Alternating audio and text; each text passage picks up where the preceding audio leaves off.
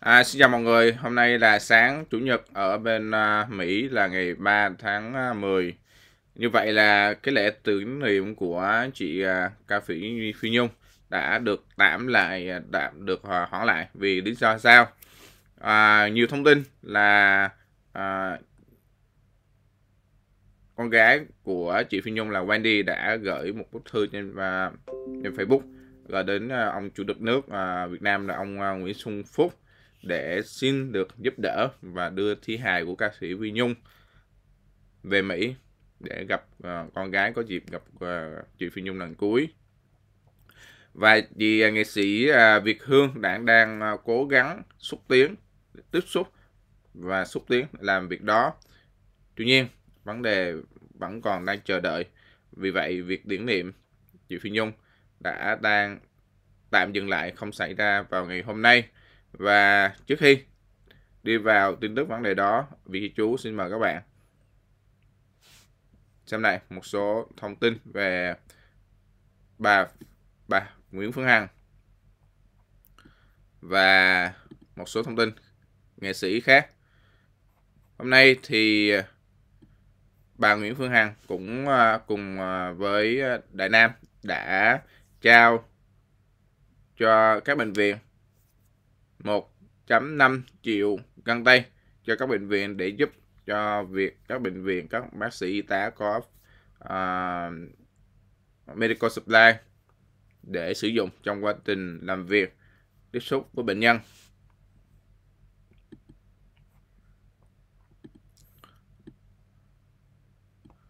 Như uh, vị chủ vừa nói thì uh, con gái của chị Phi Nhung là Wendy đã có ước nguyện là muốn đưa thi hài chị Phi Nhung về để mọi người, người thân, đặc biệt là cô con gái có dịp nhìn lại chị Phi Nhung lần cuối như tâm nguyện của chị Phi Nhung. Hai năm trước đây, khi mà Covid xảy ra thì chị Phi Nhung không có về Mỹ để thăm con gái và trước khi à, nhiễm Covid 19 thì chị Phi Nhung cũng đã đặt vé máy bay trước à, 3 ngày trước khi à, nhiễm Covid 19 thì à, chị vào bệnh viện thì không có thể trở lại được uh, Hoa Kỳ. Và chị mất.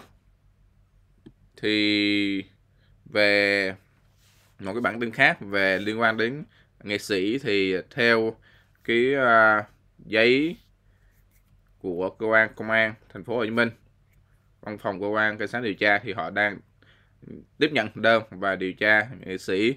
Trong đó có nội dung là uh, công an ờ, thành phố Hồ Chí Minh và văn phòng công an điều tra đã tiếp nhận à, những cái hành vi tố cáo đối với việc à, nhận làm từ thiện nhận tiền của một số nghệ sĩ như là Hoài Linh, Đàm Vĩnh Hưng, Thủy Tiên, Trấn Thành và tố cáo cũng như tố cáo ông Võ Hằng Yên.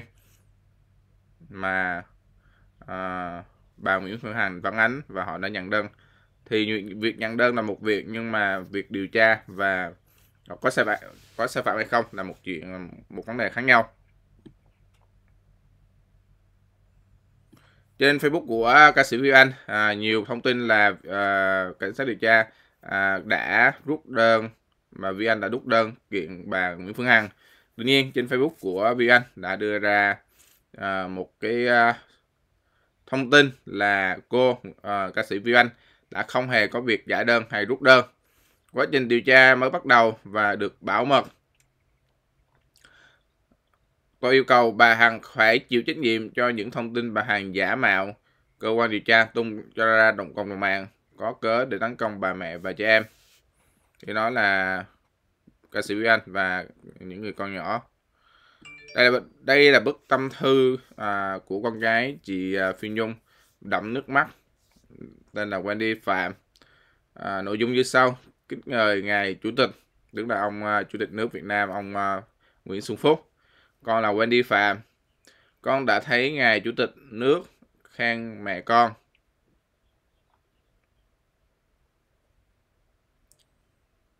Là một anh hùng trên báo, con rất cảm kích. Nhưng xin cho mẹ con là mẹ của con lúc này thôi, được không? Mẹ con một suốt một đời vất vả lo cho con, lo cho các em. Và mấy tháng nay mẹ con ở lại nước Việt Nam để cùng mọi người chống dịch. giờ mẹ con nằm xuống rồi. Con không cần một anh hùng, con cần mẹ. Xin Ngài giúp cho mẹ con sớm được về với con. Mẹ con cũng hứa với con xong việc mẹ con sẽ về. Xin ông giúp con, xin mọi người giúp con. Mẹ con đã sống cho mọi người rồi, giờ cho con xin lại mẹ con, con cảm tạ ông. Phạm Thu Wendy 1 giờ sáng ngày 3 tháng 10 năm 2021 Garden Grove, California, USA. Như vậy là bức tâm thư đẫm nước mắt của con gái của chị Phi Nhung viết vào à, 1 giờ sáng ngày hôm nay. được các bạn.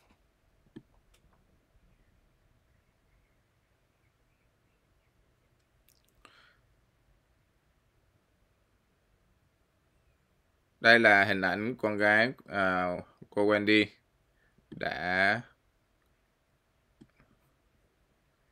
đã đến uh, đã làm trong cái uh, chụp hình với và đã rất là thương tiếc người mẹ là chị Phi Nhung trong uh, cái lễ tưởng niệm tại Hoa Kỳ.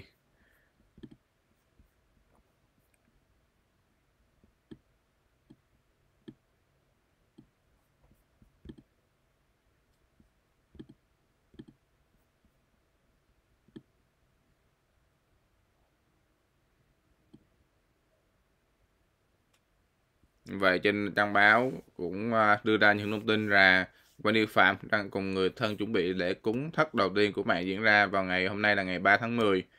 Theo giờ Mỹ, suốt những ngày qua, con gái Phi Nhung đều có mặt để cầu siêu, mong cho vong linh mẹ được về cõi vĩnh hằng. Tại Việt Nam, lễ tưởng niệm sự cố à, cố nghệ ca sĩ dự kiến diễn ra vào ngày 4 tháng 10 đã bị hoãn lại do ảnh hưởng của đại dịch Covid-19. Đây là hình ảnh uh, chị Phi Nhung và con gái Wendy.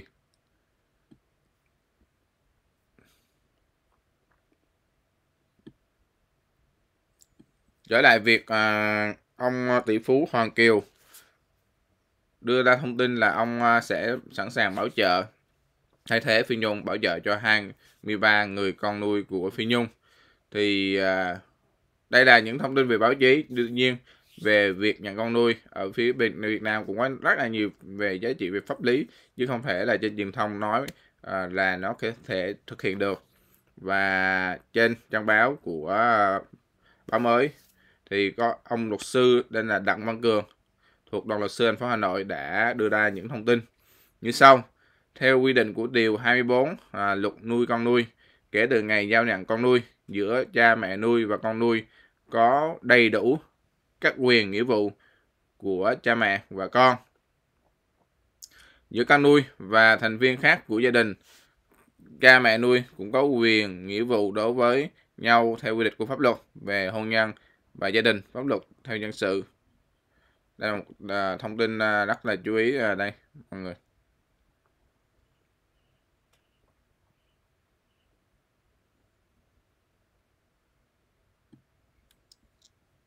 Đây nè. Như vậy theo quy định trên dù thì dù cha mẹ nuôi mất là như, như chị Vi Nhung mất đúng không? Nhưng quan hệ con nuôi không đồng thời chấm dứt. Do đó việc thừa kế tài sản thì con nuôi và cha nuôi mẹ nuôi đều được thừa kế di sản của nhau và còn được thừa kế di sản theo quy định theo quy định theo quy định của điều 651 điều 652 và điều 653 của Bộ luật dân sự.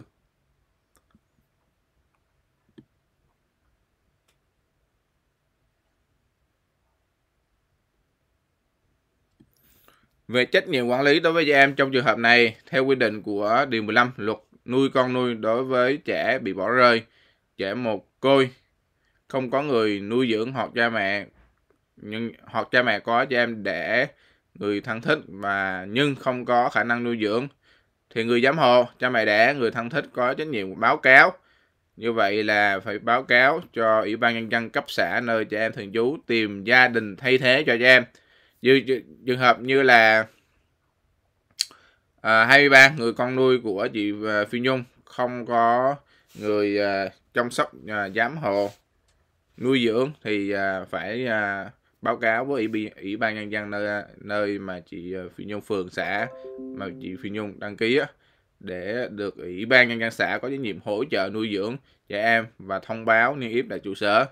Ủy ban nhân dân trong thời hạn 60 ngày sẽ tìm để tìm người nhận trẻ em làm con nuôi. Nếu có người trong nước nhận trẻ em làm con nuôi thì ủy ban nhân dân cấp xã xem xét giải quyết. Hết thời hạn thông báo này. yết nếu không có người trong nước nhận trẻ em làm con nuôi thì ủy ban nhân dân xã lập hồ sơ đưa trẻ em vào cơ sở nuôi, dưỡng. Đây trường hợp có Việt Kiều là ông à, ví dụ như ông à, Hoàng Kiều thì như thế nào? Trường hợp có Việt Kiều, người nước ngoài muốn nhận những đứa trẻ này làm con nuôi, thì theo quy định, tại điều 14 điều 29 luật nuôi con nuôi phải đáp ứng các điều kiện bao gồm có năng lực, hành vi nhân sự đầy đủ, hơn hơn con nuôi từ 20 tuổi trở lên, có điều kiện về sức khỏe, kinh tế cho ở đảo đảm, việc chăm sóc, nuôi dưỡng, giáo dục con nuôi có tư cách đạo đức tốt. Như vậy đây là những thông tin mà à, nếu 23 người con nuôi của chị Phi Nhung à, phải được được à, cho giám sát và nếu mà không có được à, người à, chăm sóc thì sẽ được à, quy trình nó sẽ như thế nào. Đây là trang à, một luật sư ở trong đoàn luật sư Hà Nội đưa ra những thông tin. À, như vậy là bản tin vào hôm nay về chị Phi Nhung bà Nguyễn Hằng và nghệ sĩ à, đưa cho mọi người. Ngày hôm nay và như vậy là chúng ta phải chờ xem là có thể, có khả năng là thi hài chị Phi Nhung sẽ được à, đưa qua Mỹ để gặp người thân và con gái chị Phi Nhung có cơ hội lần cuối. Như vậy đó là cũng là một mong ước à, cuối cùng của ước nguyện cuối cùng của chị Phi Nhung và con gái của chị Phi Nhung cũng như gia đình ở bên Mỹ. À, xin chào các bạn và hẹn gặp lại.